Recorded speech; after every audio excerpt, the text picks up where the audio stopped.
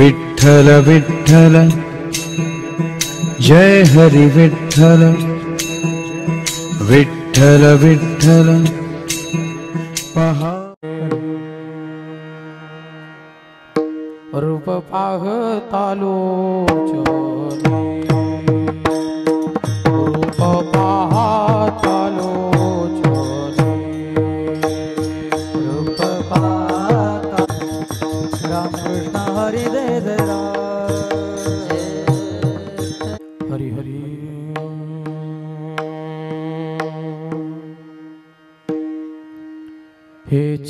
ठावी माझी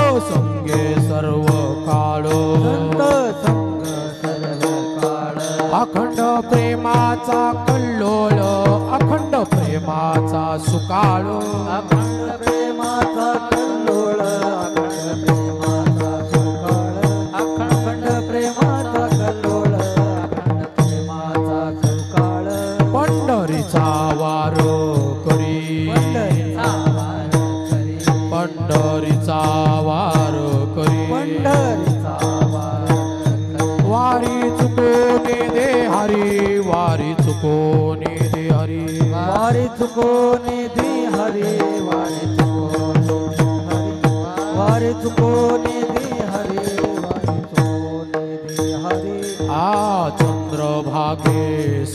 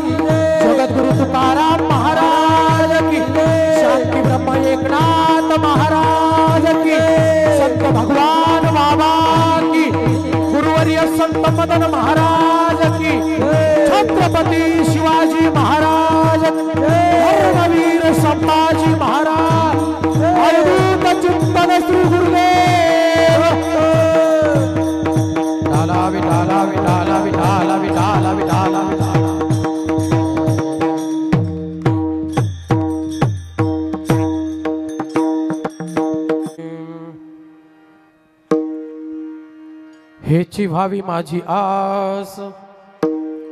जन्मोजन्मी तुझा दास.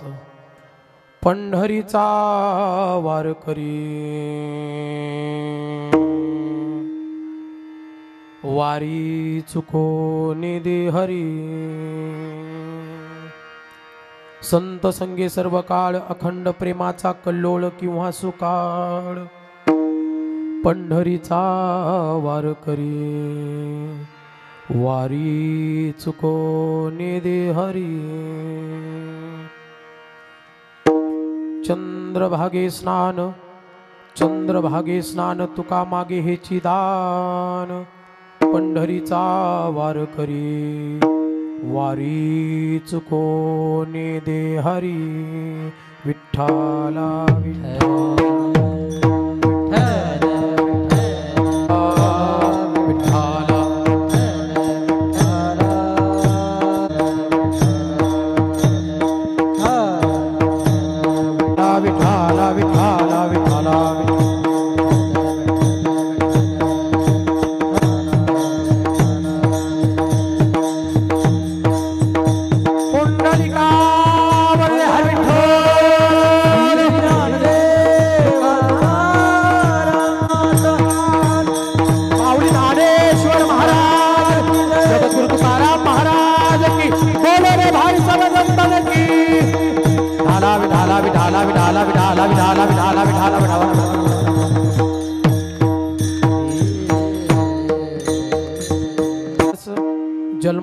तुझा दास पंढरीचा वार करी.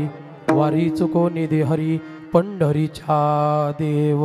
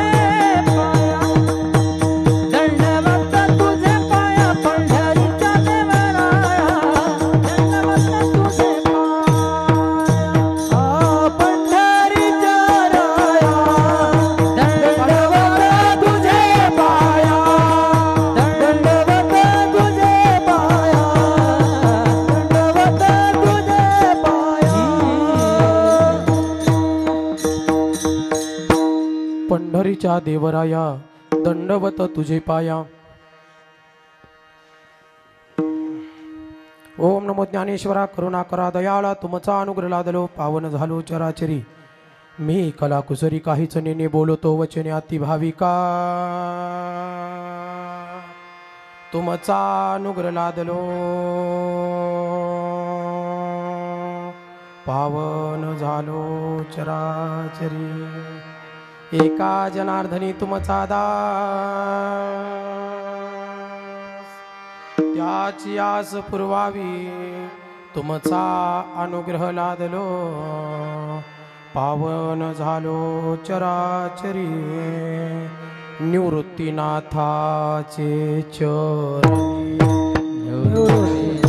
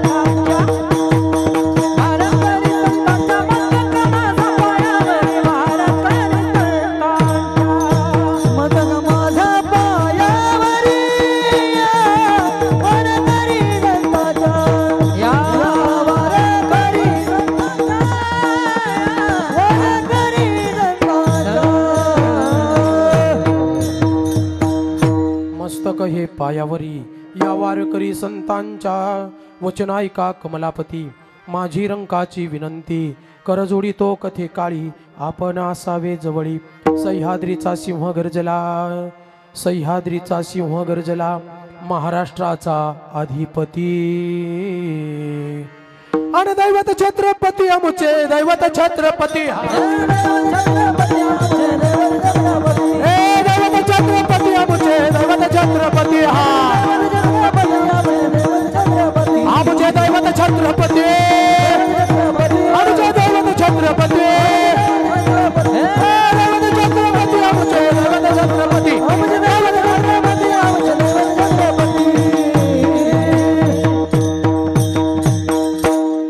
श्री सहा हात तया माझा दंडवत. हेची व्हावी माझी आस जन्मजन्मी तुझा दास. पंढरीचा वार करी वारी चुको निदे हरी विठ्ठाला विठ्ठाला विठ्ठाला विठ्ठाला विठ्ठाला विठ्ठल,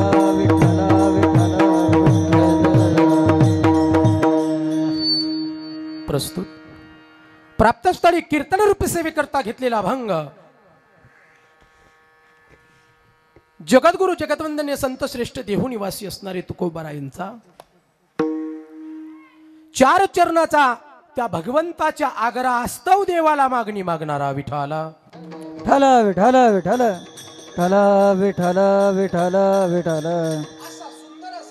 प्रकरणातील अभंग आहे. आजचं जागराचं कीर्तन म्हणजे सप्ताहातील शेवटचं रात्रीचं कीर्तन. आणि सात दिवस केलेलं कर्म सात दिवस केलेलं भगवंताचं नामचिंतन. सात दिवस केलेली त्या भगवंताची आराधना. सात दिवस केलेल्या त्या भगवंताचं असणारं ते भजन. सात दिवस केलेली या नामयज्ञामध्ये असणारी सेवा. आणि या सगळ्यांचा आराखडा या सगळ्यांचा असणारा तो पुण्याईचा संचय. आणि त्या संचयाच्या बळावरती आजच्या सातव्या दिवशी देवाला मागायचं आणि मग तो उद्या देणार आहे विठाला मग उद्या काय देणार? महाराज म्हणतात भानुदास किती गात प्रसाद देतो. उद्या त्याच्याकडे तो प्रसाद आहे. हा त्या प्रसादाचे व्हाल कोण कोण? अधिकारी. महाराज म्हणतात त्याचे अधिकारी कोण होतील? ते आता उद्या ठरवलं जाईल. ज्यानं सात दिवस कार्य केलंय तो त्या प्रसादाचा अधिकारी विठाला. असो आता नेमकं असं झालंय. ह्याचा राजीनामा आहे. आणि ह्याच्या धोरणावर चालावं तर हे म्हणतंय जरा हळूच. आणि ह्याच्या धोरणावर चालावं तर हे पुढे जातंय. आता जसं होईन हा, ठेविली आनंते आणि चित्ती असू द्यावे. हा, असो. कीर्तनाला सुरुवात करण्यापूर्वी थोडासा परिहार देणं गरजेचं आहे तो असा. पाच वर्षापूर्वी हे रोपट लागलं गेलं. नामयज्ञाचं हे रोपट पाच वर्षापूर्वी या पवित्र अशा डोंबिवली विभागामध्ये आजदे गावामध्ये लागलं गेलं. काहीतरी पूर्व पुण्य असेल काहीतरी घराण्याचं पूर्व असणारं पुण्य संचय असेल एका जन्मामध्ये हे साध्य होणार नाही. कारण महाराज म्हणतात जन्मोजन्मी आम्ही. बहु पुण्य केले तेव्हा या विठ्ठले कृपा केली. एका जन्मात नाही आज माळ घातली तर उद्या देव दिसायला मोकळा नाही विठाला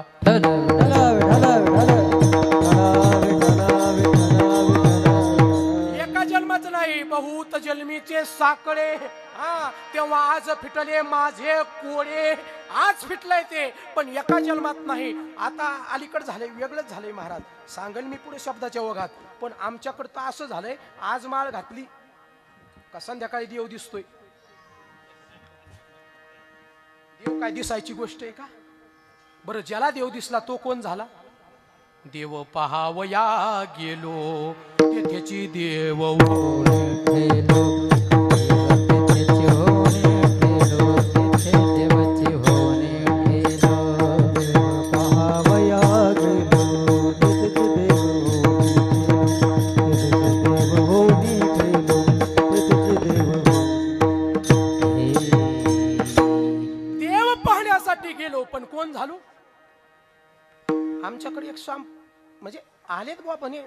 माळ घातली का एक जण मला म्हणला महाराज म्हणलं काय? आमच्याकडले भारी म्हणला. म्हणलं काय म्हणला सकाळी माळ घातली का संध्याकाळी देव दिसतो. म्हणलं अरे वा. इकडं तर महाराज म्हणतात या जन्मात तर काही साध्य होईना का या शिदाशा येईल माझ्या अंगा. एवढा परमार्थ करून आमत काळी विठू आम्मासी. आणि माळ घातली तर नेमकं भानगड काय? तो म्हणला लय नेमकं असं होतं महाराज खोट्याच्या मागं लय लोक पळते. एका गावात एक बाबा आले आणि त्यांनी सांगितलं दोन मिनिटात ब्रह्म दाखतो फक्त नळीतून वर पाहायचं हा. ज्याला ब्रह्म दिसणार नाही तो दोन बापाचा आणि ज्याला दिसन ते एका बापाचा. काय सांगितलं? ज्याला दिसणार नाही तो आणि ज्याला दिसल तो हा शेजारी आला रामभाऊनं पाहिलं वरती. रामभाऊ म्हणला काहीच नाही मोकारच आभाळ येतोय पुसाच्या महिन्यात भानगड काय? वर पाहिलं. पण नाही म्हणा तर ध्यान देऊन ऐका नाही म्हणा तर दोन बापाचा ना हा म्हणा तर. हा मग म्हणला एका बापाचंच असलेलं बरं ना. म्हणला काय जोरात ब्रह्म आहे, या ब्रह्माला तोडा नाही म्हणला हा.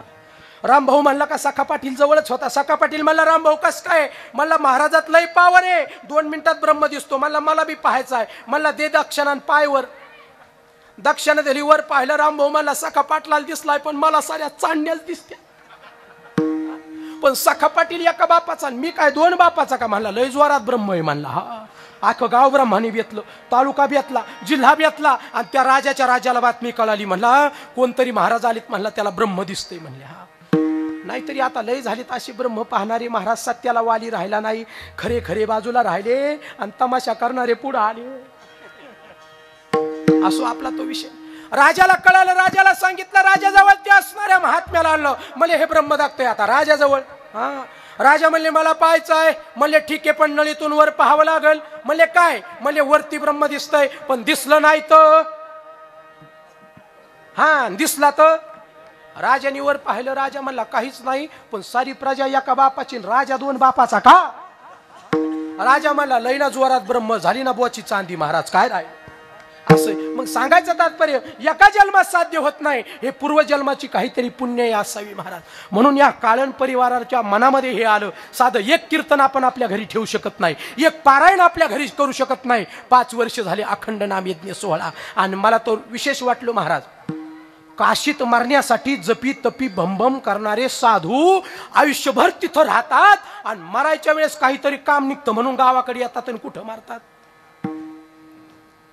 पहा बरं का. आयुष्यभर तिथं राहतात आणि मरायला गावाकडे येतात. पण आईंचं खरंच भाग्य हो, काहीतरी पुण्यवान असतील महा त्यांच्या पुढे नक्की तुम्ही संत लावा. कारण संत तुमच्या आमच्यात येतात. तुमच्या आमच्यासारखे दिसतात. तुमच्या आमच्यासारखं खातात. पण तुमच्या आमच्यासारखे नसतात. त्याला काय म्हणतात? सन्तनवती नवती जगाम। चारी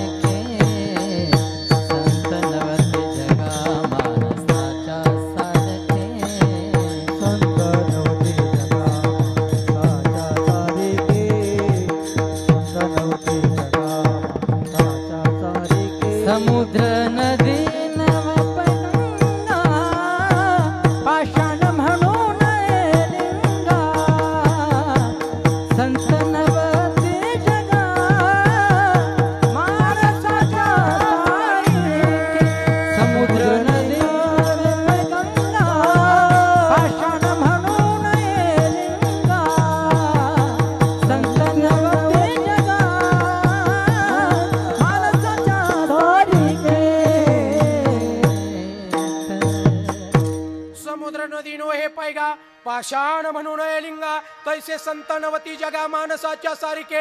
एकदा का पाषाणाची मूर्ती झाली आता तिला दगड म्हणायचं नाही. काय म्हणायचं? भगवत स्वरूप झालं. एकदा का गंगा समुद्राला मिळाली तिचं पूर्णत्व झालं आता तिला नदी म्हणायचं नाही. तू का म्हणे गंगा? सागर संगमी अवघ्या झाल्या उर्मी. तसं त्या भगवत स्वरूपाला हा जीव मिलन झाला ना आता या जीवाला जीव म्हणायचं नाही त्या स्वरूपाला तो प्राप्त झाला. आणि मग ती हा ते कोण सांभाळी तेव्हाची स्थिती आहे विठाला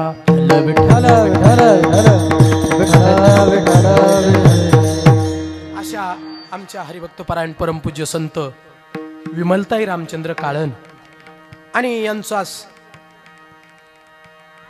त्या काशी क्षेत्रामध्ये देहवासन झालं महाराज. फार भाग्यवान असतील. यमाचे दूत तिथं आले नसतील. कारण का?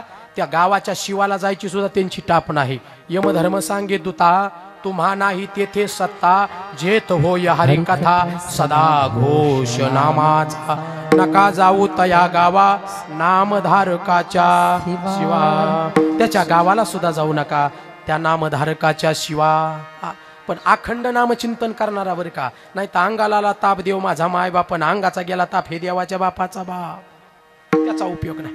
मग अशा असणाऱ्या मातोश्री तथा या ब्रह्मा विष्णू महेशाची जी मूर्ती आहे ज्या तीन देवतांनी एका असणाऱ्या देहामध्ये अवतार धारण केला त्या माईच्या असणाऱ्या समोर प्रगट झाले अनुसयाच्या. प्रगट देव प्रगट होतात बरं का? एक कीर्तनकार म्हणले देव जन्माला आले. देव काय जन्माला येत? आणि देव जन्माला येला ते उदर कसं असावं लागतं? देव प्रगट होतो. हा. देव जन्माला येत नाही देव प्रगट होतो. हे सांगितलं पाहिजे. नाही तर काय काय काय सांगतात बरं का गुरुजी? हे सांगू नाही पण एक जणांना कीर्तनात सांगितलं निवृत्ती दादा पीडित होते म्हणले. काय करीत होते? पीरित होते. आणि त्यांच्याकडून चाड घरी राहिलं. चाड चाड कळतं का? चाड? पेरायचं जे जे आहे त्याला चाड म्हणते चाड. चाड विसरून राहिलं ना तर झुपलंय चाडच नाही पाभर झुपली पण चाड नाही. पुन्हा पळत पळत आले आणि ज्ञानेश्वर माऊलीला आवाज दिला. अय ज्ञानबा! म्हणजे काय? चाड कुठे? ज्ञानदेव पुसे निवृत्तीशी चाड. आता हे प्रमाण काही तर लागाय जोग आहे का? पण आलं काय उपयोग त्याचा? हो असो मुद्देसूर असावं.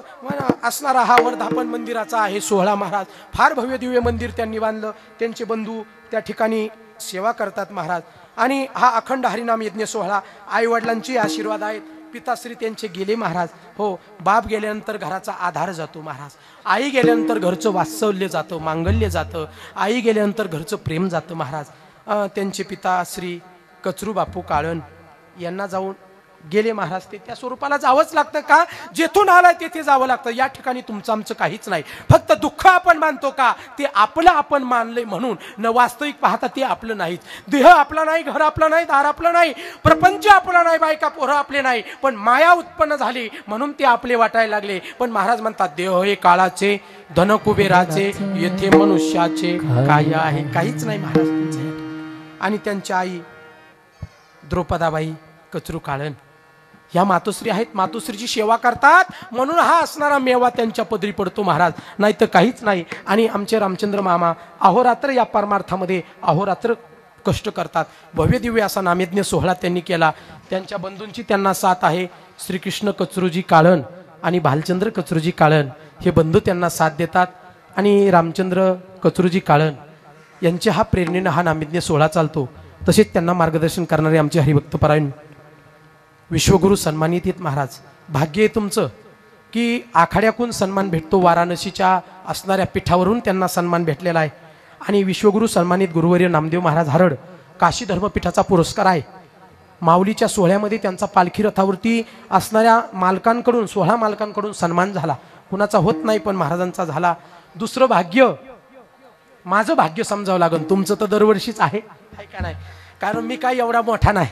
पण आमचे हरिभक्त परायण परमपूज्य आदरणीय ज्यांनी महाराष्ट्राला आपल्या मृदुंग कलेतून वेड लावलं अनेक विद्यार्थी घडवले आणि विशेषतः मुंबईकरांचं त्यांच्यावर प्रेम आहे आणि त्यांचंही मुंबईकरांवरती प्रेम आहे. यश्य प्रीती तस्य प्रीती न्याय त्यांचा आहे. टाळी वाजवा एकदा त्यांच्यासाठी. महाराज आठ दिवस काय आमच्यासारख्याला एक तास सुद्धा ते सापडणार नाही पण तुमच्यासाठी आठ दिवस? मला इथं आल्यावर विचारलं म्हणलं वाजवायला कोणी? म्हणले गुरुजी म्हणलं वाजलं गाडी आपला. हाय का नाही? असे आमचे हरिभक्त परायण परमपूज्य आदरणीय पक्वाज रत्न पक्वाज सम्राट असणारे आमचे एकनाथजी महाराज गोष्टी गुरुजी या ठिकाणी उपस्थित आहेत महाराज. भाग्य माझं काहीतरी असेल जन्मोजन्मीचं बस. गुरुजींनी आता मला म्हणता येईल ना पुढं मला गुरुजींनी वाजवलं. कीर्तनात हो असं सांगता येईल. गुरुजी आहेत उदार म्हणे महाराज त्यांचं. माझ्यासारख्या पामराच्या कीर्तनात त्यांनी मृदुंग वाजावा. काय भाग्य असेल. हो त्यांची उपमा व्यासांची आहे माझी येड्या शुकाची आहे. पण शुकानं भागवत सांगावं आणि व्यासांनी ऐकावं. काय म्हणावं त्याला विठाला?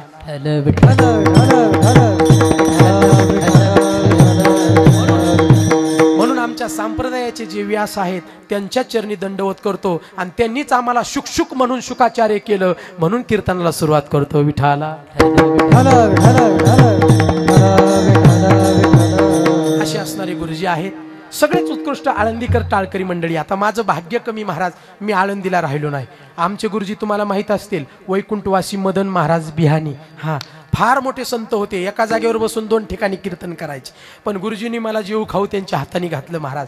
लहान असताना आणि मी आठ वर्षात असताना गुरुजी गेले. आता चतुर्थीला त्यांची पुण्यतिथी आहे उद्याच्या चतुर्थीला. गुरुजी गेले. पण कुठल्या तरी संत रूपी परिसाला कुठल्या तरी लोखंडाचा स्पर्श कोण्या का व्हायना रूपानं झाला पण आपलं सोनं नाही निदान बँटेक्स झालं विठाला.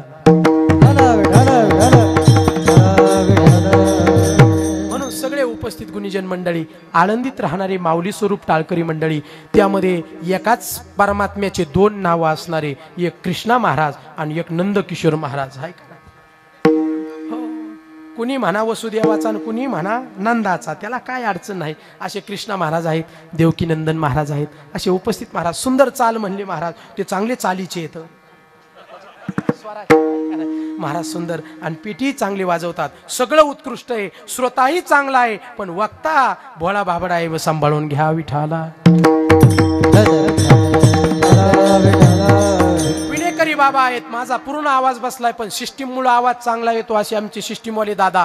त्यांनाही शेंडीचा एअरटेल आहे मलाही शेंडीचा एअरटेल आहे. तेही माळकरी आहेत. म्हणून रेंजला रेंज जुळाली. त्यांना कळायला लागलं मला काय लागत आहे आणि मला कळत आहे आता त्यांना काय सांगायचंय विठाला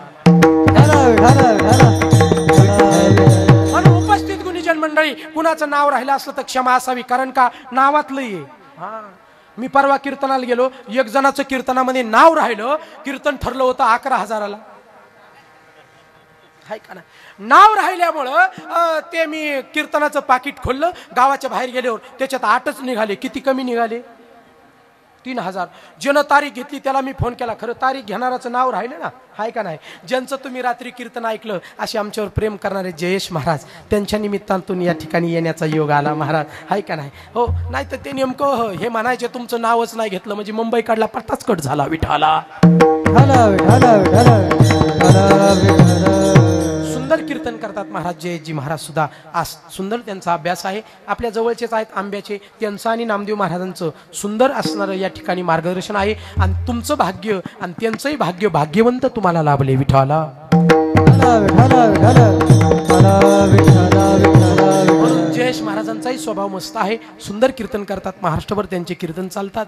त्यांच्या निमित्तानं या ठिकाणी येण्याचा योग आला. नाव नाही घेतलं. म्हणून तीन हजार रुपये कमी. मी त्याला फोन केला का रे बाबा माझं पाकिटात तीन कमी आले. काय भानगड? म्हणलं महाराज. म्हणलं काय? महाराज. म्हणलं काय? माझं कीर्तनात नाव घेतलं का? आता म्हणलं तुझ्या नावाचे किती? आधी जर सांगितलं असतं तर कीर्तन तुझ्या नावावर केलं असतं. हा? म्हणलं मग आता म्हणलं नावात काय राजा? नाव असं घ्या ज्या नावानं पर्वतच्या पर्वत पापाचे जळतील. नाव असं घ्या ज्या नावानं पुण्याचा संचय वाढल. नाव असं घ्या त्या नावाच्या स्वरूपाला तुम्ही प्राप्त होताल. राम म्हणता रामाची होई जे राम म्हणताना त्या रामाच्या स्वरूपाला तुम्ही प्राप्त झाले पाहिजे. कृष्ण म्हणताना कृष्ण स्वरूपाला प्राप्त झाले पाहिजे. आणि विठ्ठल म्हणताना पर्वतच्या पर्वत तुमची पापाचे जळून गेले पाहिजे. नाम घेता विठोबाचे पर्वत जळतील पापाचे. हा. नाही तर नावात काय? बरं तुमचं नाव घ्यायला घरी नाही तर का? का आमच्या सारखं आहे मागं ना पुढं गोसाई रड? तुमच्या घरी आहेत का नाही तर? कीर्तनच ऐकताय तुम्ही? रात्री कोणचा अभंग होता? हे ज्ञानेश्वरे मा- याला लोकाच्या चपला घालून काय केलं? घरी नाव घ्यायला आहे की नाही? कोण आहे?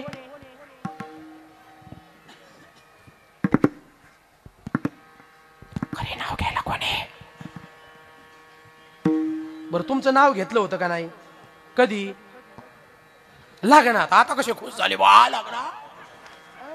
लग्नात ना ती नवरी होती. तिला म्हणलं नाव घे ना. ती म्हणली महाराज कसं घेऊ? म्हणलं उखाण्यात घे. तिनं लय भारी नाव घेतलं महाराज. सुंदर सुंदर हरिण. त्याचे वाकडे तिकडे पाय. आमचे हे कुठं गेले? गटरात पडले काका.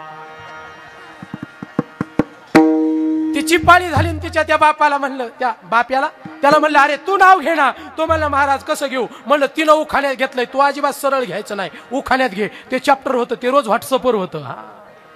आणि त्यानं कुठंतरी वाचला होता. तो म्हणला खोक्यात खोका मोठा खोका ती माई मांजर मी तिचा बोका. या नावाला काय चाटीत हा? हे नाव तुम्हाला सिद्धीस नेणार नाही. म्हणून नाव त्या परमात्म्याचं घ्या. म्हणून कुणाचं जर नाव राहिलं असलं तर क्षमा मागतो कीर्तनाला सुरुवात होईल महाराज या ठिकाणी अभंगाची सर्व सण प्रस्तावना करत असताना सांगतात हेची व्हावी माझी आस जन्मो जन्मी तुझा दास. हे परमात्म्या हे भगवंता तू म्हणतोय म्हणून मी मागतोय पण मला द्यायचंच असेल ना तर जन्मोजन्मी तुझा दास. तुझ्या दास्यत्वाचं स्वीकार करण्याची ताकद माझ्यामध्ये दे आणि एका जन्मात नाही असंख्य जन्मात तुझं दास्यत्व मला प्रगट व्हावं. म्हणून जन्मोजन्मी तुझा दास.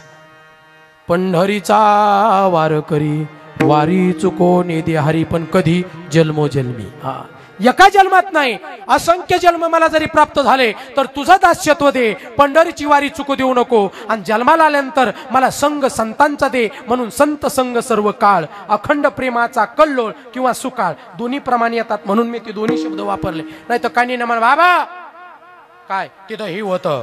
बाकीचं बाकीचं नाही पाठ पण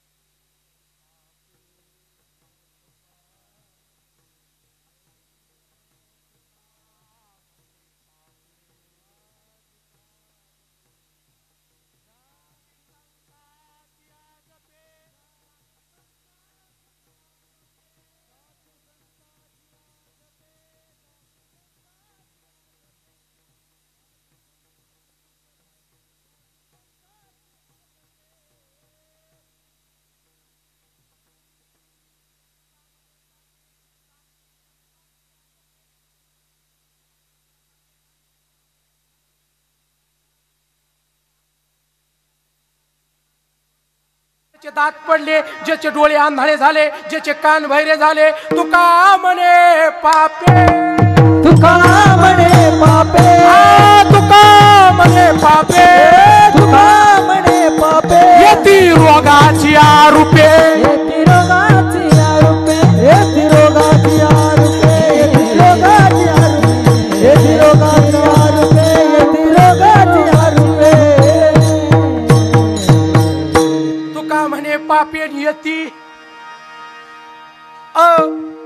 डायबेटीस कशाचं कारण आहे? पंढरीची वारी न केल्याचं.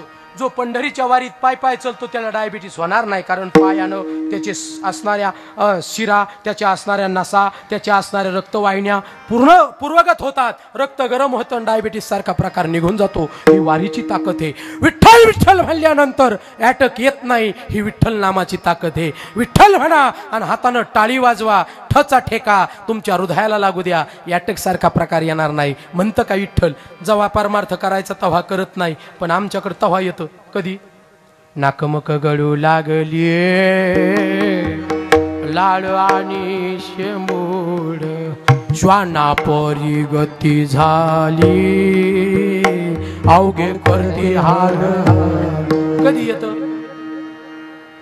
परमार्थ कधी सुचतो?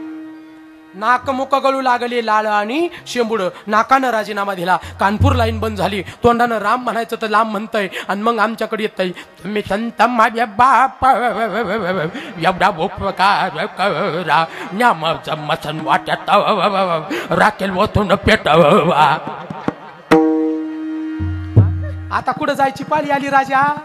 मसनवाट्यात जायची पाळी आली. आता पंढरी दिसायला लागली का? नाही रे राजा जोपर्यंत पाय चालतात जोपर्यंत डोळे आहेत जोपर्यंत कान आहेत जोपर्यंत हात आहे जवळ हे सकळ सिद्ध आहे तव तू लोकाच्या सोयीत पाहेन सासरवाडी जाय चुकू नको. असंय का? जवळ सकळ सिद्ध आहे. हात चालावया पाय. तव तू आपुले स्वहित पाहे. तीर्थयात्रे जाय चुकू नको. लोकांचं काहीच नाही रे राजा याच्यात तुझंच हित आहे. तू शोधून पग आणि कुठं जा? त्या पंढरीच्या वारीला जा. त्या पंढरीच्या पांडुरंगाकडे जा. या विषयातून बाजूला हो. नाहीतरी हा जीव कुठं गुतलाय. विषय ओढी भुलला जीव. कोण करीन याची याची कीव करणार कोण नाही? साधू संतांना विषयाला दूर केलं. आणि त्यांचा विषय काय झाला? विषय तो त्यांचा. विषय तो त्या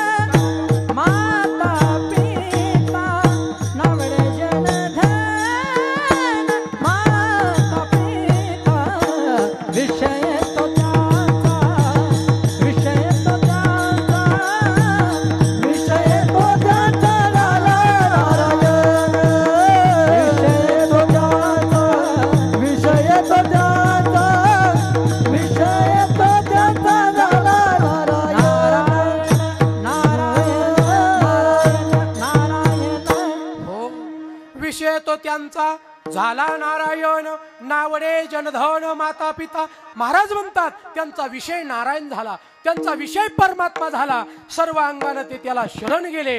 आणि शरण गेल्यामुळे मागण्याचे अधिकारी झाले विठाला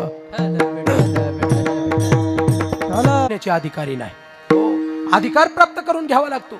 आणि जसा अधिकार तसं त्याला फळे. हो अधिकार तैसा दावियेला मार्ग. चालता हे मग कळो येते. चालत त्या मार्गाने जा.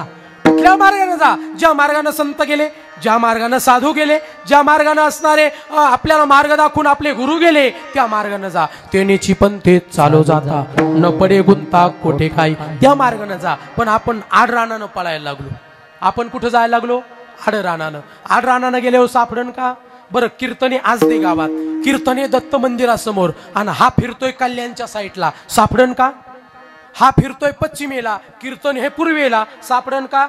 मग तुमच्या जवळच आहे का? तुमच्या लांब आहे? मग परमात्मा तुमच्या जवळ आहे क्या तुमच्या लांब आहे? बरं तुम्हाला सोपं उदाहरण सांगतो. देव तुमच्यात हे का देव दगडात हे?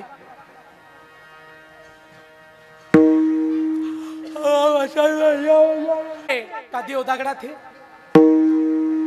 तुमच्यात हे का? दाखवा बरं पाठशिरी. चला चला चला. ना कुणात देव आहे? बघू द्या हाय का? हाय का? हाय पण प्रोसेसनं पाहावं लागतो त्याशिवाय दिसणार नाही. कल्पना करा कल्पना करा. अ, माता मावल्या सगळ्या जणी तूप काढतात का नाही तूप? तूप कशात हे? दुधात. दुधात आहे का नाही? आता आपण काय करू? दुधात तूप हे ना? चला बरं सगळे आपापल्या घरी किचनमध्ये जाऊ आणि दुधामध्ये डोकून पाहू तूप आहे का? दुधात तूप. तुम्ही बोला राव तुम्ही बोललं तर मला कळते उग कीर्तनाला चार चार तास बसते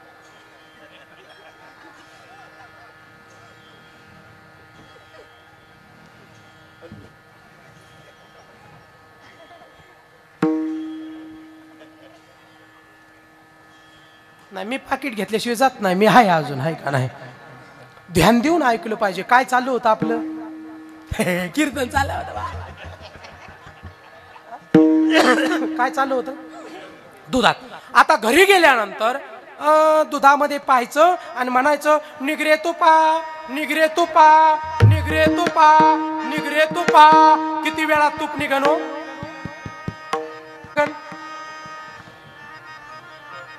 हा वीरजन ते मावशीनी बरोबर सांगितलं. शेजारीकडे जायचं. ए ताराबाई ऐक ना म्हणे काय आजचं दूध घरी राहिलंय? थोडस विरजन देते का? तिच्याकडून ग्लासामध्ये विरजन आणायचं आणि त्या दुधाच्या बगुल्याच्या शेजारी आणून ठेवायचं. मग? काय करायचं? त्या दुधात टाकायचं. आता दुधात टाकल्यानंतर चार पाच दिवस त्याला काय करायचं? विरजून द्यायचं विरजून. दोन चार दिवसानं चांगलं विरजतं.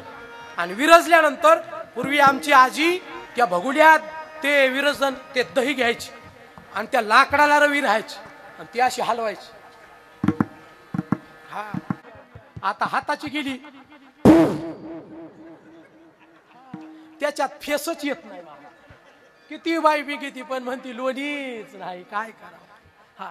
आता ते विरजलेलं दही आता काय करावं लागतं? त्याला मंथावं लागतं मंथावं लागतं. आणि मंथिल्यानंतर त्याच्यावरती फेस येतो. फेस आल्यानंतर तो फेस एका बगुल्यात काढायचा आणि खाली काय राहतं?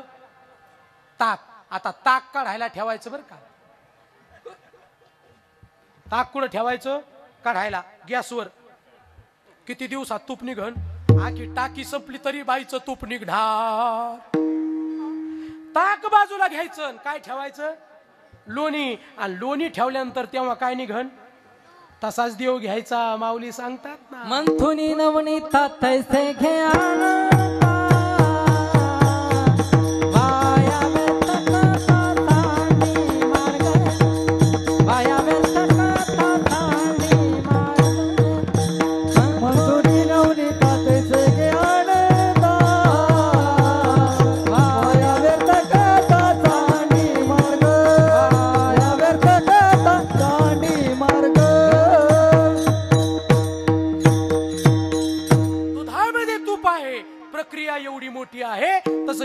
जगात परमात्मा नसेल का?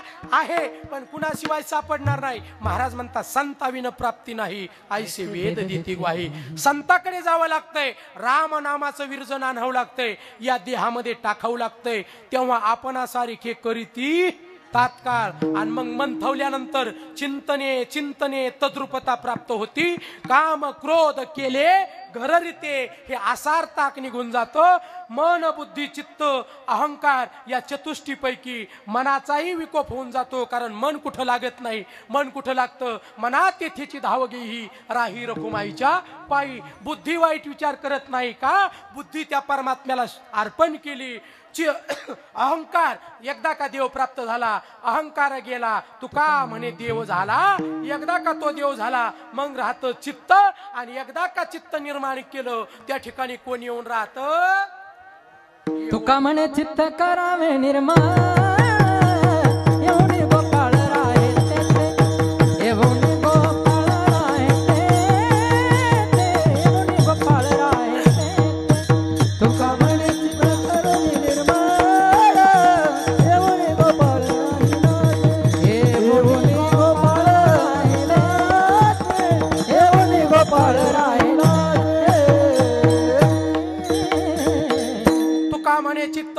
ते. तुका म्हणे चित्त त्याला म्हणावं लागत नाही आता ए माझं चित्त निर्मळ होईल आणि मग तू येऊन राहा. अजिबात नाही. आंबा पिकला ना पोपटाला सांगावं लागत नाही. पोपट राजा आता आमच्या बागेतले आंबे पिकलेले आहेत आपण यावं आणि ते प्राशन करावं. पोपट आंबा पिकल्याचा वास गेला का पोपट येतो तसं चित्तामधला विक्षेप गेला. चित्तामधला काम गेला चित्तामधले विषय गेले आणि चित्तानं विषय त्या नारायणाचा केला रे केला. देव त्या ठिकाणी प्रगट झाल्याशिवाय राहत नाही. आणि एकदा का देव स्वरूप प्राप्त झालं त्याला याचं त्याचं काहीच घेणं देणं नाही. का? महाराज म्हणतात तो मज व्हावा असं जर वाटत असल आणि तो जर तुमच्या जवळ आला मग गोविंद ती काया भेद नाही. देवा तया आणि एकदा का त्या स्वरूपाला तो प्राप्त झाला काय खातो हे सुद्धा कळत नाही. कुठे जातो हे सुद्धा कळत नाही. आपले तुझे पणाचा भाव निघून जातो मी तू पणाचा भाव निघून जातो. मी कोण? तर मी असणारा त्याचा अंश. हा भाव त्या ठिकाणी प्रगट होतो. अहम ब्रह्मास्मी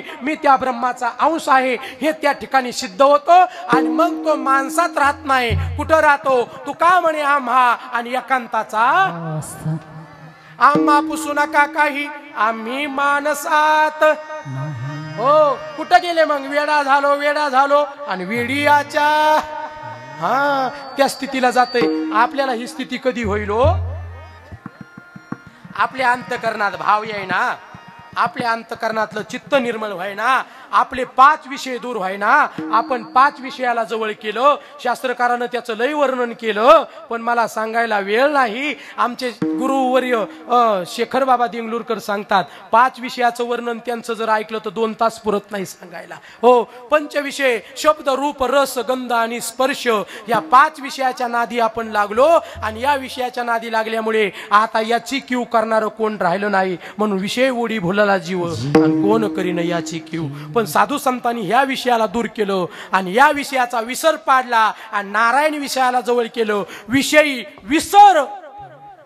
कुठल्या विषयाचा? या पाच विषयाचा. आणि कुठला विषय झाला? विषय तो त्यांचा झाला नारायण. पण आपल्या मनामध्ये भावच नाही महाराज. किती जणांच्या मनामध्ये भाव आहे मला सांगा. देवाला मागण्यासाठी अंतकरणात अगोदर काय पाहिजे?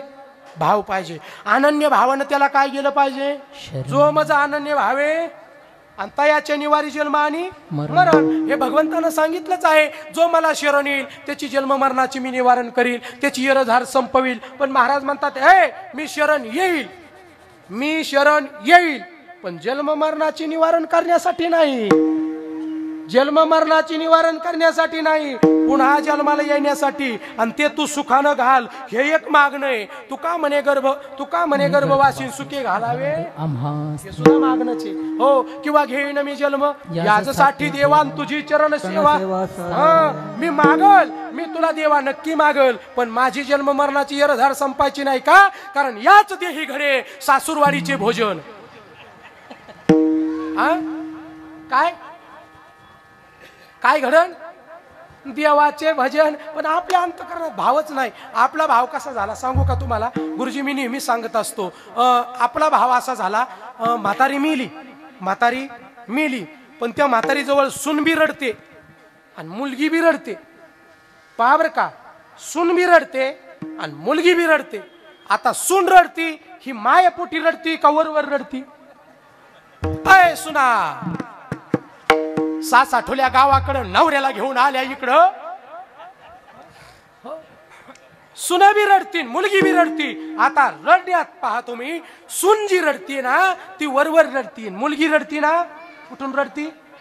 सासू साठी रडे सुन. भाव अंतरीचा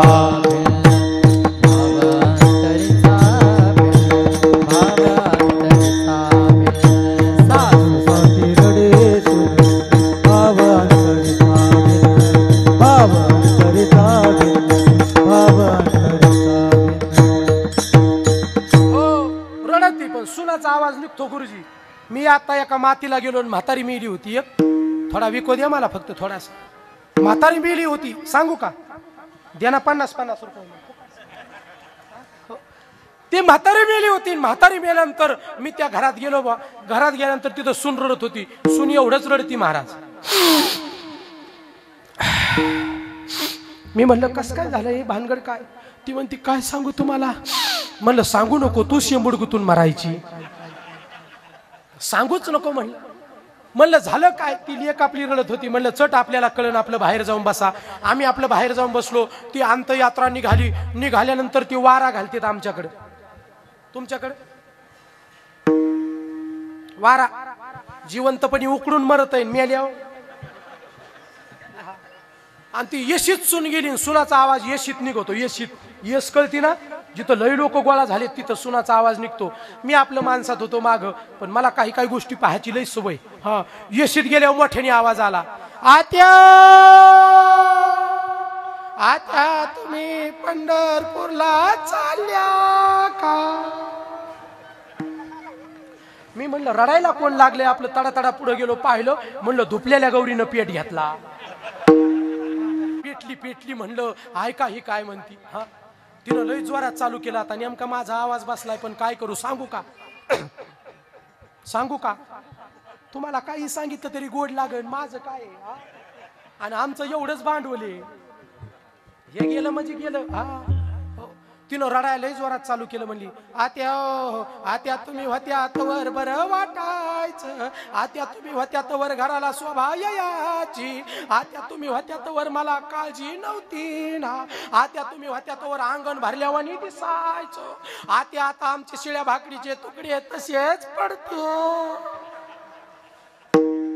माझी म्हातारी शिळ्या भाकरी खायला होती दुसरं कामच करायला. हो आता हे रडणं अंतकरणातलं एका मला सांगा. हे रडणं अंतकरणापासून एका मला सांगा. तुमची आमची भक्ती ह्याच तराची आहे. आपण रडतो पण वरवर रडतो. ते देवापर्यंत पोहोचत नाही. मग रडा त्या मुलीसारखं रडा. रडा त्या परमात्म्यासाठी रडा. आणि रडा मागा. फक्त त्या परमात्म्यालाच मागा. अरे जीवाला जीव मागून काय मागणारे पैसा. जीवाला जीव मागून काय मागणारे महाराज जीव जीवावर प्रेम करत नाही. का? प्रेम करावं ते फक्त आमच्या साधू संतांनीच. हो कारण जीवाचं जीवावरचं प्रेम फक्त उद्देशापोटी आहे. जीवाचं जीवावरचं प्रेम स्वार्थापोटी. तुम्ही जरी बायकोवर प्रेम तुमच्यावर काहीतरी स्वार्थ आहे. तुम्ही जरी प्रेम करत असताल कुणावर तरी त्या प्रेमामध्ये स्वार्थ आहे. पण या भक्ती मार्गामध्ये देवावरती प्रेम करणारे संत आणि संतावरती देव प्रेम करणारा देव यात फक्त भक्तीचं नातं आहे. कुठलाच स्वार्थ नाही विठ्ठल विठ्ठल विठ्ठल विठ्ठल विठ्ठल.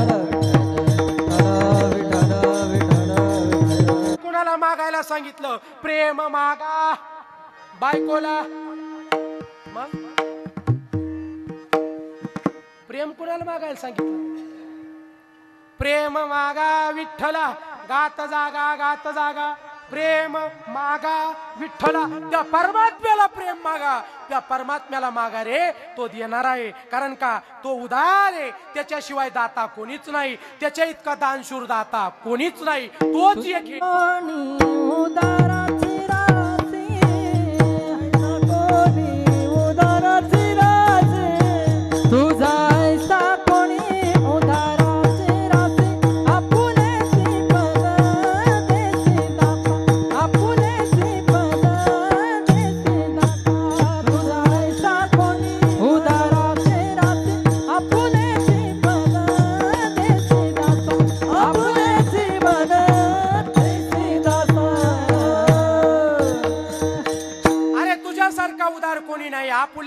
आपुले श्रीपद हो आणि दुसरं एक प्रमाण या ठिकाणी होतं हो, तोची एक दानशूर हेच हे दोन्ही लागू होतात.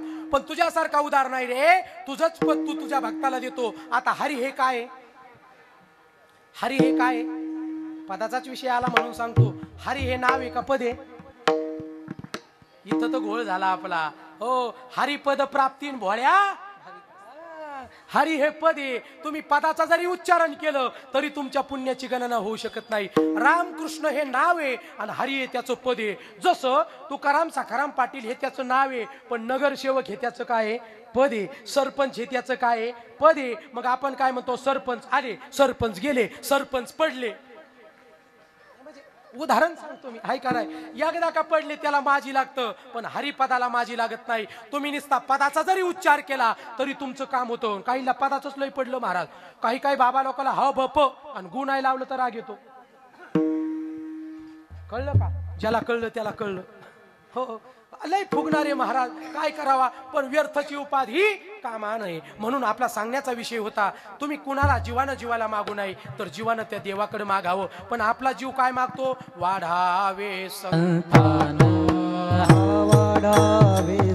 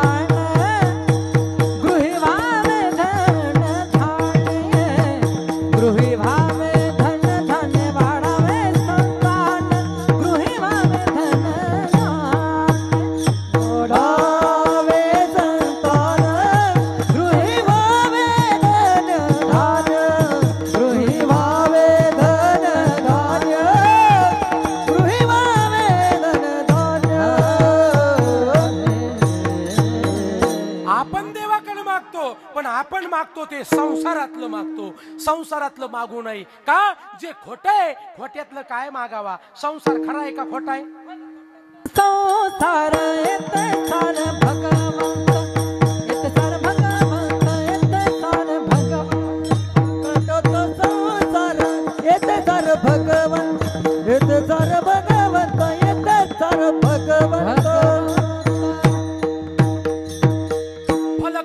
संसार तो फलकट. फलकट म्हणजे तो असणारा असहाय्य असणारा तो संसार खोटा असणारा तो संसार मिथ्या. फलकट म्हणजे टर्फाला शेंगदाणा हे आपलं काय आहे? सार आहे. पण शेंगदाण्याचा वरचं टरफल हे कसं आहे? सारे का सारे तसं हे संसार त्या टरफलासारखं आहे. आणि सार म्हणजे तो परमात्मा आहे. फलकटो तो संसार. येथे सार भगवंत. असणार आपण रानामध्ये चाललो भुईमुगाचा वेल आहे. आता वेल उपटला. त्याच्या काय तोडायच्या? शेंगा शेंगा फेकून द्यायच्या आणि पाला खिशात घालायचा. जमन का? मग काय घ्यायचं? शेंगा घ्यायच्या आता पाला फेकून द्यायचा आता पुन्हा टरफल खायचे आणि शेंगदाणे फेकून द्यायचे. मग आपलं तसं झालंय? हो ज्या ठिकाणी शेंगदाणा आहे त्या ठिकाणी करायला तयार नाही. आणि टरफाल्यात रस वाटायला लागला. उपयोग काय? नुसतं खिशात ठुलंय शेंगदाणे माह्याकडे शेंगदाणे माह्याकडे अरे पण भूक लागली खाय ना. पण लोकाला दाखायला शेंगदाणे माह्याकडे हा? असं झालंय आपलं. हे सगळं दाखायला आहे महाराज. असायला काहीच नाही. आता पहा तुम्ही सगळ्या गोष्टी करता. सुखासाठी करता का दुःखासाठी? तुम्ही जेवता कशासाठी? झोपता कशासाठी? रोज कामाला जाता कशासाठी? सुखासाठी. सगळ्या गोष्टी सुखासाठी आहेत पण सुख जिकडं आहे तिकडं सापडायला तयार नाही. कुठे सुख? सुख महाराज म्हणता सुखा लागी जरी करीशी तळमळ तरी तू पंढरीशी जाय. एक वेळ मग तू अवघाची सुखरूप होसी एका जन्माचं नाही जन्मो जन्मीचे दुःख एका जन्माचं नाही राजा. मग मागा. त्या परमात्म्याला असं मागा जो तुमच्या हिताचा आहे. संसारातलं मागू नका. संसारातलं तो द्यायला बसला नाही. असं मागा जन तुमचंही कल्याण होईल आणि जगताचं कल्याण होईल. पण जो खरा भक्त आहे ना तो मागत नाही. देव त्याला द्यायला असुसलेला असतो पण तो मागत नाही. काय मागत नाही? त्याला त्याच्या नामाशिवाय काही लागतच नाही. हो त्याचं नाम आलं ना. देवा बाद झालं. बाकी आम्हाला काहीच नको. का? अरे तुझं नाव हे आमच्यासाठी सर्वश्रेष्ठ आहे. तुला डोळ्यानं पाहून हृदयामध्ये साठवला ना हे आमच्यासाठी श्रेष्ठ आहे. तू कोबराय पंढरीच्या वारीला जायचे महाराज. आता महाराजांची वारी आपल्यावनी थाटात होती का? आपली वारी म्हणजे चिवडा शंकरपाळे असणारे ते बेसन पिठाचे लाडू शेंगदाण्याचे लाडू. सकाळी जर नाश्त्याला बसलो तर काय खाऊन काय नाही? आणि नाश्ता करावं तर तुमच्या परिसरातल्या दिंड्यांनी. ऐक नाही गुरुजी? काजून बदामन वा वा वा वा. काय नाश्ते? दिंडीत लोक वंगाळ व्हायला जातात पण जाड होऊन येत. अवघड आहे. हो माझी मुंबई भागात एवढी ओळख नाही नाही तर मला त्याच दिंड्यांनी जायचंय बरं का? हो असो. हो मग महाराज म्हणतात अरे बाबा अरे त्या परमात्म्याकडे चाललाय ना तुकोबरा जायचे. तुकोबराची स्थिती महाराज त्यावेळीची कशी होती? तुटकाच विना. त्याला दोन तारा. आन घालियर झारा पंढरीच्या. घालियर झारा पंढरीच्या. पंढरीचा घालीर झारा पंढरीचा हो विना त्याला किती तारा? त्याला दोन तारा. आणि काय करतो? घालीयर झारा पंढरीच्या. कोबराच्या मंडळीला जर विचारलं हे आवळी जिजाई काय? कुठे गेले मालक? तो कयाची कांता सांगे लोकापासी धनी माझे गेले पंढरीसी धनी माझे गेले पंढरीसी धनी माझे गेले पंढरीसी आणि आपल्या बायकोला विचारलो अ ताराबाई कुठे गेले मालक? आपली बायको सांगे शेजारणीसी आमचं येड गेलं डोंबी वलीशी. असं. फरक आहे. पण महाराज पंढरपूरला जायचे स्नान करायचे दशमीला पोहोचायचे एकादशीला स्नान करायचे एकादशीचे प्रदक्षिणा करायचे जागर करायचे द्वादशीचं पारणं फेडायचे त्रयोदशीला नामोच्चार करायचे पौर्णिमाला गोपालपूरला जायचे गोपालपूरचा काला घ्यायचे आणि मग पांडुरंगाच्या दर्शनाला यायचे. हा. असा नियम होता. आणि मग पांडुरंगाच्या दर्शनाला आले ना तू कोबराय समोर आले देवाना असं खाली पाहा. का खाली पाहो हो? कल्पना करा तुमच्याकडून एखाद्यानं पैसे नेले आणि पैसे तो परत द्यायना. मग तुमचे पैसे त्या दुसऱ्याकडे आणि तुम्ही पुढून आले तो काय असं म्हणतो का? हा हा हा बरं झालं आले. असं नाही ना. का? याचं ऋण आपल्या डोक्यावरती असं पाहतो म्हणून परमात्मा खाली पाहायचे का? नामाचं ऋण आपल्या डोक्यावरती आणि मग देव म्हणायचे तुकोबराया तुकोबराया तुकोबराया म्हणायचे एकदा माझ्याकडे पहा. आणि देव म्हणायचे तुकोबराया नाही पाहू शकत. अहो एकदा पहा. पाहिल पण काहीतरी मागा. ते म्हणे मागायला मी काय भिकारी का? भिक्षा पात्र अवलंबने. जळोजीने लाजिरवाने. अजिबात नाही. भिक्षा मागणार नाही. अहो म्हणले काहीतरी मागा. म्हणले आमच्या आई बापानं शिकवलंच नाही. काही मागणे अमानुचित वडिला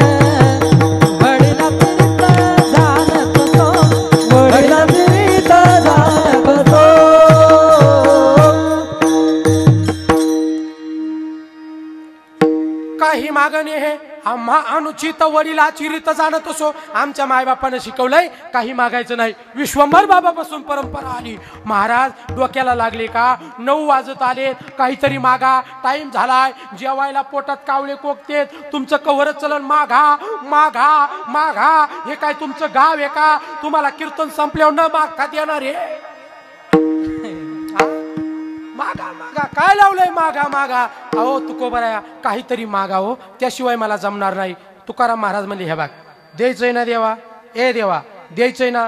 माझ्यासोबत जे संत आलेत ना त्यांची जन्म मरणाची इरदार संपव. त्यांचं कल्याण कर. या संताशी निरवी ह्याची मदत देई आणि क तुझे काही न मागो देवा. बघा बरं लोकाच्या हिताचं मागणं ना आपलं मागणं. महाराज त्यानं दोन बंगले बांधले माझा तिसरा कधी होईल? त्याचं पोरग नापास झालं याच्या पोटात ज्यादा दुखत महाराज. आपलं दुखणं आपल्या दुःखापेक्षा लोकाच्या सुखानं ज्यादा आहे विठाला विठ्ठल. महाराज अहो त्यांना तर मी देतो पण तुमच्यासाठी म्हणले मला करणं देवा. ह्या जन्मी नाही जन्मो जन्मी घडो मज. हो. हेच मला कधी घडो? हेची घडो माझं जन्मजन्मांतरी मला तुझी सेवा जन्मजन्मांतरी घडो. अहो महाराज ते तुम्ही करताच आहात. काहीतरी मागा. हो. मग देवा एक काम कर मी पंढरीतून निघून गेलो ना तर तुझा मला कधीच विसर नाही व्हावा. हे दे ना ह्याची दान दे गा देवा. तुझा विसर न व्हावा. अहो महाराज माझा विसर तुम्हाला कसा पडल? कारण माझी काया तुमची काया सदैव मला अर्पण आहे. मग गोविंद ती काया तुम्हाला काय खातो हे कळत नाही. कोण्या डोंगरावर भजनाला जातो हे कळत नाही. माझा अहोरात्र तुम्ही भजन करता तुम्हाला रात्र न कळे दिवस न कळे अंगी खेळे दैवत हे. तुमचं असणारं हे तत्व आहे. तुम्ही रात्रंदिवस माझा जप करता नामस्मरण करता माझा विसर कसा होईल? मग तुला द्यायचंच ना. तुझी लईच इच्छा आहे ना माझ्याकडून चुकून पाप घडत असेल. आणि ते चुकून पाप घडलं ना या चंद्रभागेत मला त्याचं स्नान घडावं हे दान दे अभंगाच्या शेवटच्या चरणात. चंद्रभागे स्नान.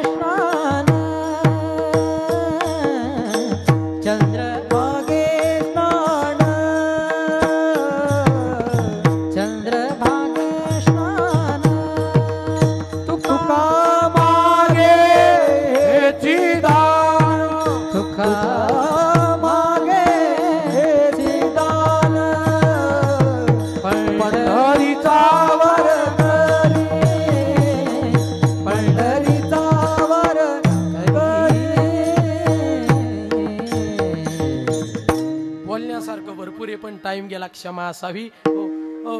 चंद्रभागे स्नान तुका मागे ह्याची दान महाराज. किती सोपं आहे. तुमच्याकडून पाप घडतच नाही पण तरी तुम्हाला स्नान घडतंय. तुम्ही करता त्यात काय वावग आहे? चंद्रभागेत तुम्हाला काय नको म्हणलं का? दिलं तुम्हाला ते दान सदैव. महाराज चंद्रभागे स्नान ह्याची मागे दान हे सोपं आहे का? महाराज म्हणतात सोपं आहे. कसं सोपं आहे? पंढरपूरला आलो कुठं आंघोळ करतो आपण? चंद्रभागेत. पण आपलं पाप आपण मनाने करतो मग आपल्याला वाटतं धुतलं का?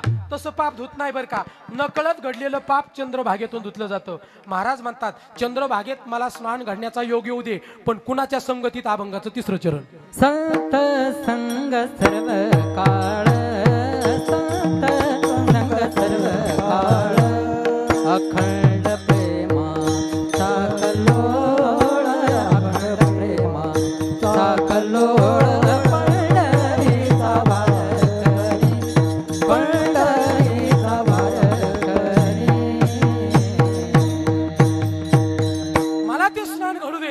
संत संगतीत घडू दे. आणि संताचा संघ वास द्यावा पंढरीचा सदा संघ हरिदासाचा.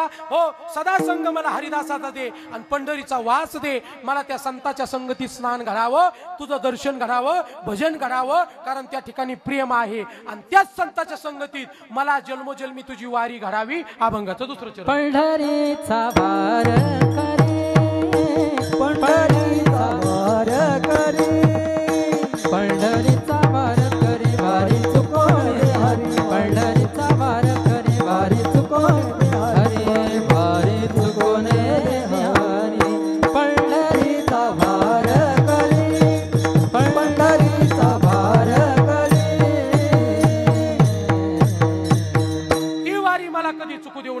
या संताच्या संगतीत मला वारी घडू दे हेच माझी आस आहे. अभंगाचं पहिलं देवावी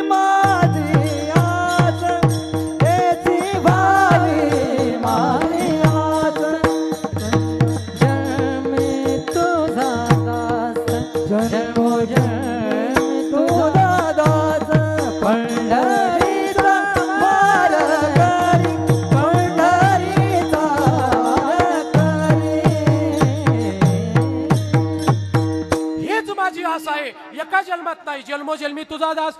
एका जन्मात नाही जन्मोजन्मी पंढरीचा वार करी एका जन्मात नाही जन्मोजन्मी सर्वसंघ संताचा. सर्व काळ जन्मोजन्मी. काय? चंद्रभागे स्नान. आणि हेची माझं काय आहे? मागणं आहे. हेची व्हावी माझी आस. कुठली आस? पंढरीचा वार करी कुठली आस? जन्मोजन्मी तुझी वारी घडावी. कुठली आस? संतांचा संघ. आणि कुठली आस? चंद्रभागेचं स्नान. एकदा सगळ्यांना प्रेमानं हात वर करा.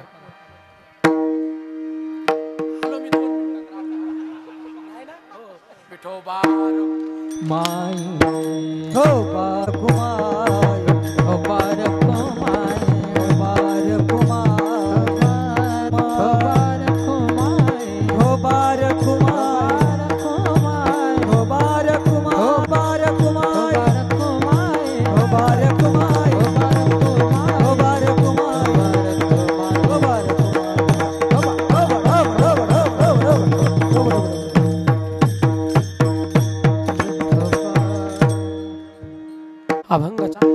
तुमच्यापर्यंत बोलण्याचा प्रयत्न केला. जे काही बरोबर आहे ते माझ्या सद्गुरू मदन महाराजांचं आहे. आता तुम्ही ज्ञानी वक्ती आहात. महाराज मंडळी या ठिकाणी आहेत. आखाड्याचे वाराणसी आखाड्याचे महाराज जी आहेत. नामदेव महाराज आमचे गुरुजी आहेत. आता गुरुजींना हे रुचतं का नाही कुणास ठाऊक? मोठे मोठ्यांची कीर्तन त्यांनी ऐकली. आणि कसं आहे चांगले चांगले पदार्थ खाल्ले हो बाकीच्या पदार्थाला काय हो आहे का नाही? पण चला मिठासारखं आपलं. लागलं तर घेतलं नाही तर हात धुवायच्या कामाला तरी येतंय. काय करावं त्याला आहे का नाही? असो असे गुरी गुणीजन मंडळी आहेत आणि सगळ्यांच्या चरणी नंदवत करतो. जे काही बरोबर आहे ते माझ्या गुरुवारींचं आहे. त्यांचा आशीर्वाद आहे. मी काय कुठं शिकलो नाही. त्यांची कृपा झाली. कृपा कटाक्ष निहाळीले. आपुले आपदी भैसविले. बापर कमादेव भक्ता दिदले वर. मिनिटं ज्यादा जातील बरं का? पाच मिनिटं. ओव्हर टाईम नका भरू मा प्रत्येकानं करा. आषाढी कार्तिकीची वारी करा. मला अतिशय आनंद झाला महाराज. काळण परिवार अतिशय विनम्रपणे मी ती पत्रिका पाहिली म्हणलं एकटा माणूस सप्ता पण सगळ्यांची साथसंगत ते घेतात. कारण खेळ एकट्याचा नाही नो हे खेळ हे कल्याचा. म्हणून मेळ जमविला. आमच्या गुरुजींचंही प्रेम मार्गदर्शन त्यांना आहे. आमच्या नामदेव महाराजांचं आहे. आमच्या जयेश महाराजांचं आहे. तुम्हा सर्वांची साथ त्यांना आहे. आणि हा कार्यक्रम असाच मोठा होत जावो अशी त्या दत्तप्रभूंच्या पांडुरंग परमात्म्याच्या ब्रह्म विष्णू महेशाच्या चरणी प्रार्थना करू. इवलेसे रूप लाविले द्वारी त्याचा वेणू गेला गगनावरी. पण बघा ना तुम्ही मोगरा फुलला मोगरा फुलला. फुले सुंदरी महाराज नाही तर आपण सप्ता आमच्या गावाकडं लई बेकार आहे. सप्त्यात काड्या करते लोक काड्या. पण इथं एक महाराज सुंदर कार्य करतात आणि आईची सेवा करतात त्यांना कमी पडणार नाही. नक्कीच त्या आमच्या विमल मातोश्रींनी सासूबाईची सेवा केली असेल. म्हणून त्या असणाऱ्या काशी धामामध्ये त्या काशी विश्वेश्वराचरणी लीन झाल्या आणि काशी विश्वेश्वराच्या स्वरूप झाल्या. असो त्यांच्याही चरणी मी दंडवत करतो. नाहीतरी काय सासूपशी असतं महाराज सुनाला कसं वागवायचं? आणि सुनापशी असतं सासूला कसं वागवायचं? जसं तसं वागतही माणूस. हा आमच्या वाट्यावर दोन चार म्हाताऱ्या बसल्या. दोन चार म्हाताऱ्या तर त्या म्हातारीची लेख मुलगा आणि सून दोघ जण गाडीवर नगरला निघाले नगरला. आता त्या म्हातारी नग बसावं ना.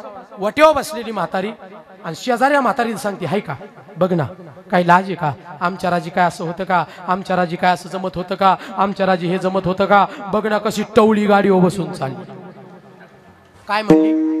टवळी. हा. आणि दहा पंधरा मिनिटं गेले आणि तिची लेखन जावई आले. एक जण म्हणली गंगू म्हणली काय ग? म्हणली तुझे लेखन जावई आलेत. तिनं पदर सारवला. म्हणली ताराबाई बघा ना लय हालाकीत लग्न केलं पण माझ्या चिमणीचं किती चांगलं झालं. बघा ना कसा लक्ष्मी नारायणाचा जोडा दिसतोय. म्हणजे सुनाला टवली लेकीला लक्ष्मी नारायणाचा जोडा. असं वागू नका. सुनाला मुलीसारखं वागवा. सासूला मुलीनं आईसारखं वागवा. जीवनाचं कल्याण होईल राजानो गर्भातली मुलगी गर्भात मारू नका. श्री जन्माचं स्वागत करा. अरे बाप दोन वेळेस रडतो रे. एकदा म्हणजे मुलगी नांदायला जाताना आणि दुसऱ्यांदा म्हणजे मुलगा वायली निघल्यावर महाराज त्या बापाला कन्यादान आमंत्रण देईल. सगळ्यांना बोलवील. असणाऱ्या लग्नामध्ये सगळ्यांना राम राम घालील. सगळ्या पाहुण्यांना जीव घालील. पण स्वतः मात्र उपाशी राहील त्याला बाप म्हणतात महाराज. हो. पहा तुम्ही एकदा त्या बापाकडे.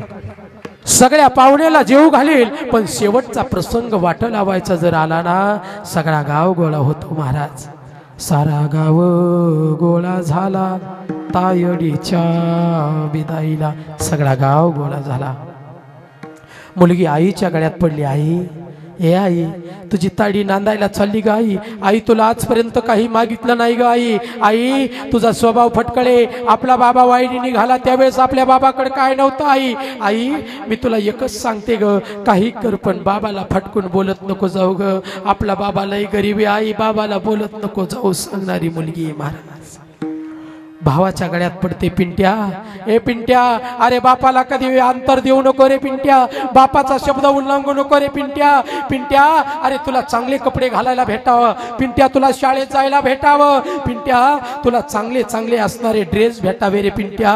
म्हणून बाप रात्री कामावून यायचा. मी जेवायला वाढायचे आणि झोपायच्या टायमाला म्हणायचा तायडे एवढी कोपरी धुवून टाक ग. बाबा दुसरी नाही का? तायडे सगळ्याच फाटल्यात ग. एवढी चांगली आहे. एवढी धुवून टाक मी सकाळी हीच वाळल्यावर घालीन. बाबा नवी घ्या ना. ताळे तुला तर माहीत आहे ना किती लोड आहे. पिंट्याच्या शाळेची फी भरायची पिंट्याच्या एसटीचा पास काढायचा पिंट्याला शाळेचे कपडे घ्यायचे वही पुस्तक घ्यायचे. ताळे एवढा खर्च नाही भागवत ग. जाऊ दे मी कसं घालीन पण माझा पिंट्या सुखात राहायला पाहिजे. ही सांगणारी मुलगी असते. मुलीची नजर मांडवाकडे एका कोपऱ्यात जाते. गुडघेवर केलेला हाताची घडी घातलेला खाली मुंडी घातलेला बाप. पाहते नवरदेवाच्या पंचाला हिसका मारते. आणि धावत मुलगी त्या बापाकडे जाते बाबा बाबा एकदा पहा ना ताडीकडे बाबा. बाबा काही मागितलं नाही. बाबा किती दुःख झालं तर तायडी सोबत बोलायचे बाबा. बाबा किती दुःख झालं तर तायडीला सांगायचे बाबा. बाबा एकदा पहा ना मुलगा असणार तो बाप असणारा मुलीकडे पाहतो. मुलगी बापाकडे पाहते एकमेकाच्या गळ्यात पडतात. बाबा कधी आठवण आली तर तुमच्या ताडीकडे धावत येत जा बाबा. आईच्या तोंडाला लागत जाऊ नका बाबा. पिंट्याला चार चौघात बोलत जाऊ नका बाबा. बाबा कधी तुम्हाला काही वाटलं तर तायडीकडे या. तुम्हाला शुगरचा त्रास चालू झालाय बाबा. गोळ्या खायच्या लक्षात राहत नाही बाबा. तांबड्या पाकिटातली गोळी दुपारी खायची बाबा. हिरव्या पाकिटातली गोळी संध्याकाळी खायची बाबा. बाबा गावाखालची जमीन विकून टाका. तुम्हाला जास्त ताण होत असेल तर वरच्या वाटणीतली पिंट्याला भरपूर होईल बाबा. पण जास्त कष्ट करू नका. ही सांगणारी मुलगी असते. दोन घराचा उद्धार करणारी मुलगी असते. म्हणून स्त्री जन्माचं स्वागत करा. गर्भात मुलगी मारू मुलीला जन्माला येऊ द्या. म्हणून मुलीचं रक्षण करा. आणि बाबांनो एक काही आपल्या घरातून कोणीतरी एक जण सैन्यात पाठवा महाराज सैन्यात पाठवा. या सैन्यात सैनिक दलाचे माझा एक भाऊ मिलिटरी या सैनिकांचे एवढे उपकार आहेत. आज तुम्ही हे जा जम्मू काश्मीरला. एवढ्याला बर्फ आहे महाराज एवढ्याला बर्फात पाय जातात. तरी आपले सैनिक बंदूक घेऊन उभा राहतात महाराज. ते आहेत म्हणून तुम्ही आम्ही आहोत. ते सैनिक आहेत म्हणून तुम्ही आम्ही आहोत. त्या सैनिकां मी तर नेहमी सांगत होतो या शिक्षक लोकांचे पगार कमी करा आणि त्या सैनिकाचे पगार वाढवा. शिक्षकाला ऐंशी ऐंशी हजार रुपये पगार. बायको मास्तरीनं तो बी भोप्या मास्तर. हा. पूर्वीचे मास्तर वेगळे होते महाराज. पूर्वीच्या कविता वेगळ्या होत्या. आता मास्तर पोरच नुडोची गेम खेळत येत मला त्यात दुमत नाही करायचं. पण ऐंशीतले पन्नास ठेवा. दोघा नवरा बायकोला लाख रुपये झाले. पण त्या मिलिटरीवाल्याला तीस हजार आहे ना त्यालाही पन्नास करा आणि मास्तरला सुद्धा पन्नास ठेवा. सर्वांना समान ठेवा. आज ते मिलिटरीवाले आहेत म्हणून तुम्ही आम्ही आहेत. लता दिदीचे फार उपकार गावं लागतील महाराज आपल्याला. सुंदर गायलं लता दिदींनी. ए मेरे वतन के लोग जरा आँखों में भर लो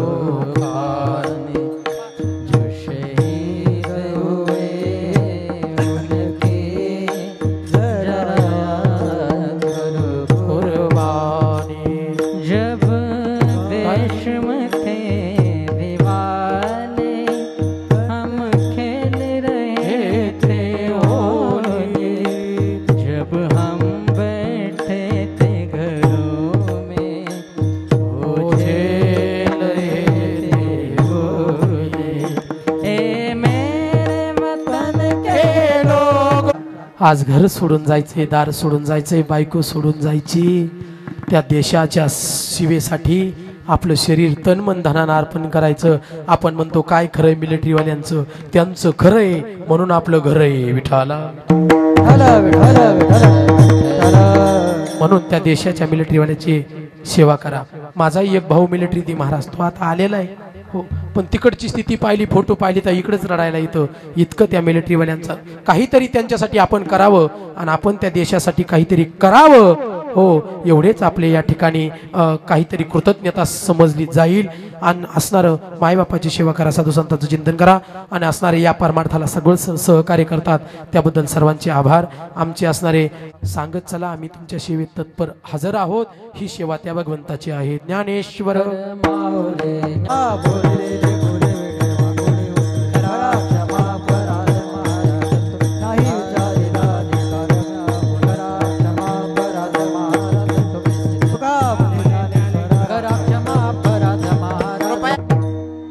कीर्तन संपलेलं नाही.